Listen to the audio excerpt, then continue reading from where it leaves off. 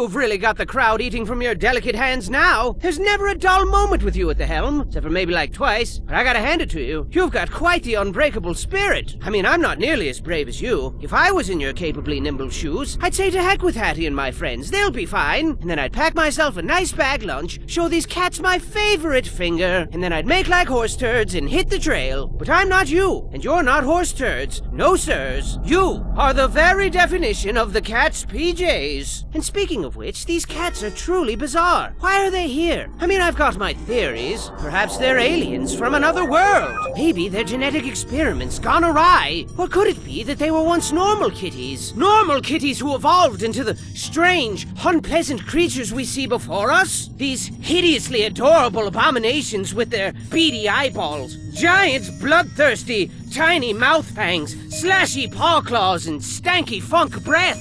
Plus, they're awfully rude and crabby. I think they all need girlfriends or something. I'm a cat, see? I'm grouchy, see? I like to run around all day and hurt people's feelings, see?